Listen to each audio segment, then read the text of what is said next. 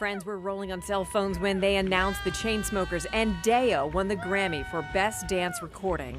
It's so strange. Like it's also like how people treat you after it happens. It's so different.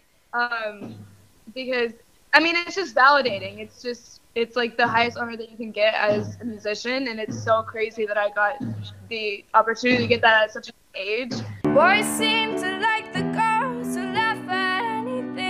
She was 16 when we first met Daya and her parents in their Mount Lebanon home. Two years later, she's stopping in Pittsburgh as part of her very first headlining tour. She comes home a Grammy winner. Stage is honestly a place where I grew up listening to and watching my favorite artists. So uh, to be there on that stage will definitely feel really, really surreal for my first headlining tour. Daya says Pittsburgh has always held people who are champions for her. Performing here is special. It kind of takes the pressure off uh, to an extent, but it also kind of adds some pressure. It's like I want to impress these people because they've been the ones like um, being my champions. All they've been my champions all along. Yes, Daya can sing. Yins better come out to the show.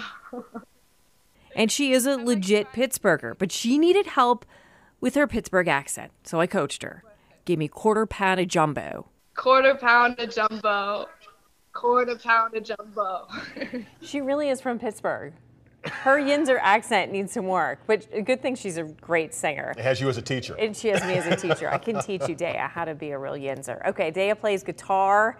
She plays piano. This woman is a real musician, and she has been since she was a very little girl. And while she's on this headlining tour, she tells me mm -hmm. she's writing songs every oh, wow. single day. So she's working hard. Tickets still available for her Thursday night show at Stage AE Daya.